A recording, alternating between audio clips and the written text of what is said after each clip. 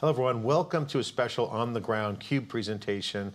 I'm John Furrier. We are here at VMware's corporate headquarters in beautiful Palo Alto, award winning campus, beautiful campus. If you ever get a chance to visit VMware, it's really one of the most beautiful places to work, actually recognized as, as such. Our next guest is Betsy Sutter, who's the Senior Vice President and Chief People Officer it's part of her job to make it feel like that. I'm not sure she made the facilities decision, but welcome to the Cube. Good to see you. Thanks, John. Nice to see you too. So what I'm excited to talk to you about is um, one, your experience with VMware mm. has gone way back. You've mm -hmm. known the company, been part of the original core mm -hmm. uh, group of VMware early on, yeah. culturally, mm -hmm. watching the transformation of the company transform multiple times, um, and I got to say, just to give you some props on, on VMware, there's always the V Mafia get together, they call it. Jerry Chen, Pete yeah, Sonsini, yeah. all the VCs, and all the alumni that have left VMware yeah. and started companies. Not just venture capitalists, but a lot of engineers. So you, have created a great culture. Congratulations. Mm, thank you. It's been fun. So, what's the secret of, of success of VMware, in your opinion? I mean, honestly, they've been a great company. Mm -hmm. um, I won't say pivoted, but have ridden the waves of innovation. What's the people formula that you uh, deploy here? Yeah, well, the, it's all about the people, right, from the early days. And everything we do on the people side of the business is pretty deliberate. Um, and it's pretty closely aligned with what we're trying to do with the technology, with our products. And that's been sort of the secret sauce. So I can't take a lot of credit for it because the founders had some great guiding principles, and uh, we just kept building on that. So um, that is the secret sauce. It's the people. But in connection with that, it's aligning what we're doing on that front with what the business is trying to do, which is be cutting edge and disrupt and innovate and think about what people today want when they come to work. I think Diane Greene also was uh, deserves some credit too. She, I've heard oh. her speak about it. She lets a thousand flowers bloom, but will pull the weeds out fast, yes, as she, as she yeah. would say. Yeah. Um, this has been a big part of it, where that is a part of experimentation. That's the culture yep. of the company on the innovation side. Yep. But now as it grows into the cloud and as you guys continue to grow, I don't know how many employees you have, there's more and more people coming in. There's more and more people coming in. I mean, we're almost 20,000 people now, right? When I joined the company, there were about 150. But the core tenets, as Diane likes to talk about, of helping things bloom, um, still remain strong with, with the company and what we're trying to do. Um, and culture is key. You know, the saying, uh, culture eats strategy for breakfast. Diane really believed in that. And a lot of what she planted in those early days is just continuing to, to go. And um, we hire, you know, roughly a thousand people a quarter now, so thousands of people a year, and bring them in, and things just resonate for them in terms of what we're trying to do. You know, the other thing I want to chat with you about is uh, talking with Yanbing, who heads up the vSAN yeah, group. Yeah. Uh, she's one of the great leaders. Um, she's got the best Twitter handle. I think it's Yang, Yanbing High Heels or something. I forget the title. It's a great one. And she's always well dressed, and I just love her, her uh -huh. outfits. But she's also a great executive. But this notion of women led um, culture. Yeah. You're a big part of. Yeah. Um, we were just at Grace Hopper, 16,000 yeah. people. Yeah. Another record year. Yep. Great content coming out. You're seeing a, a resurgence mm -hmm. of energy you are. I agree. And the numbers still aren't there. We've still got some work to do. But what's your thoughts on where we are now? And yeah, well, and, and it's fun to mention Yanbing. She is one of the great leaders. She's had a great journey at this company and really has done exceptional things.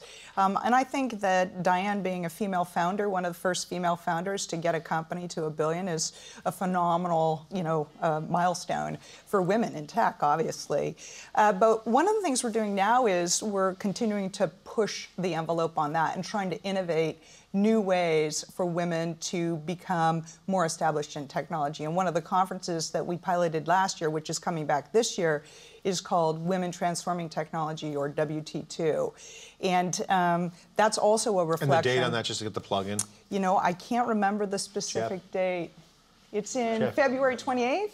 February 28th. February 28th. John, it's okay. February 28th. I've okay, got good. so many dates going on in my head. Um, but it's a one day conference. Last year we piloted it. It sold out within hours. Mm -hmm. uh, then we live streamed the rest of it. And we had thousands of women attending. But it's a unique approach. It's a consortium of companies coming together and deciding what women want and need to talk about. And so we create that environment where this consortium of companies comes together, determines what the um, subject matters uh, are going to be for discussion. We have guest speakers. This year we have Gloria Steinem, Kara Swisher. Uh, last year we had Arianna Huffington and Mary Lou Jepsen. Uh, full house. Any males?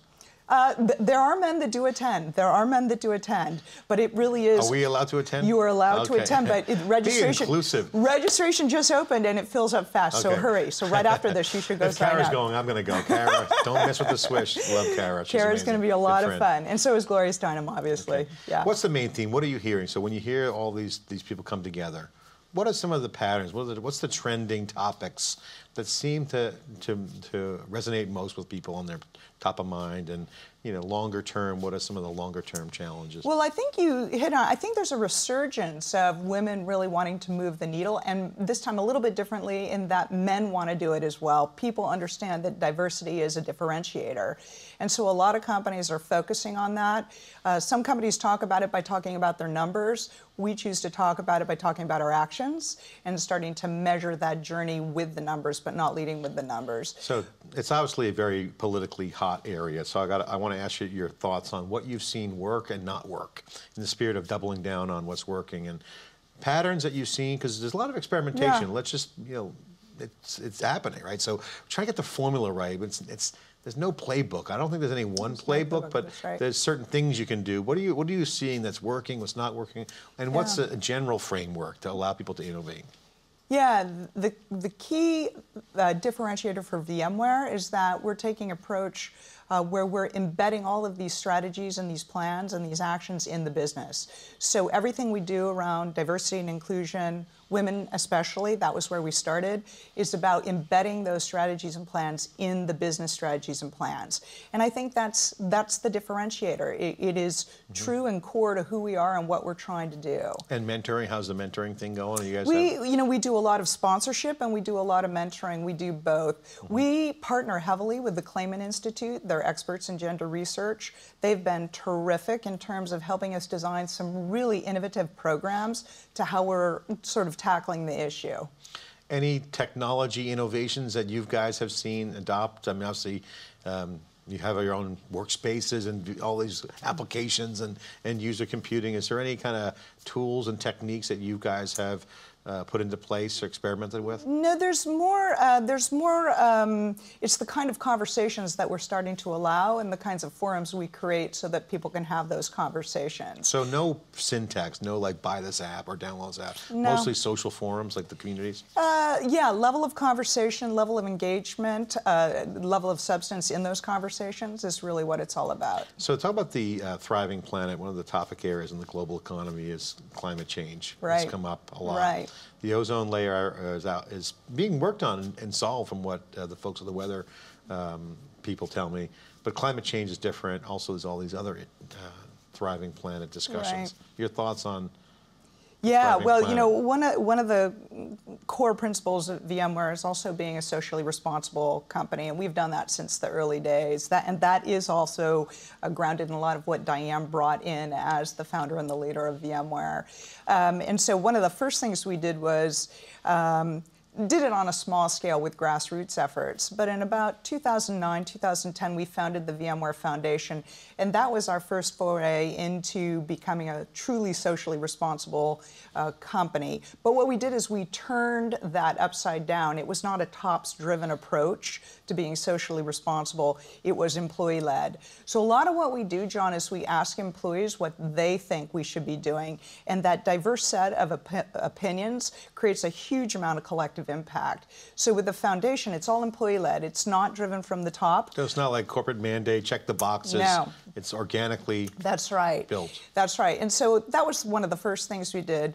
Right now, what we're doing is um, sort of taking everything that we've done in the product space to be a sustainable and responsible company um, and turning that into a force for good. And so taking all these elements that are sort of alive and well, but not really formalized or talked about, taking a lot of the grassroots efforts and putting them in more formal... How does that bubble up to the top? So let's just say Mm. that there's some traction, Mm-hmm. all kinds of conversations are happening. Is it like a program manager? Does it bubble up? Does it No, like that's a great question. So one of my uh, one of my favorite things to do is take a multi-pronged approach to everything. So bottom up, from the sides, and top down. And I think that's how you find the real truth and the real meaning as to whether or not it's so you don't bottleneck it through. You just kind of have keep keep it transparent. Well, there's a little bit of art and science, right? because a lot of what I do is listen to what the people think we need to do, uh, whether it's from a product perspective or a people strategy perspective. And so you have to constantly take a multi pronged approach. And I think that's the name of the game.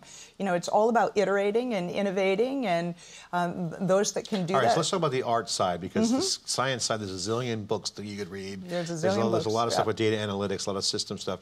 On the artistic side of kind of having a gut feel for it, Mm-hmm.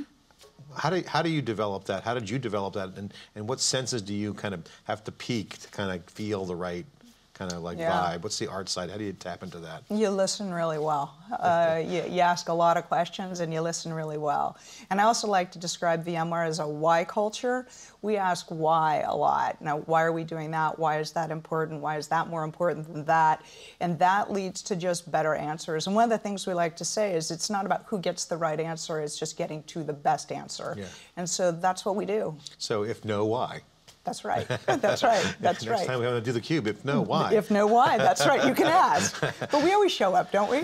Great, this is great. Idea. We can go another half hour, but I want to ask one question to point on the sustainability. And I'm, people might not know this. I want you to provide some extra data if you can. The campus here is very sustainable. It is. Can you talk about some of the the, the facilities here? Because I, I believe Yeah. it's pretty much all It's built green. around. It's very green.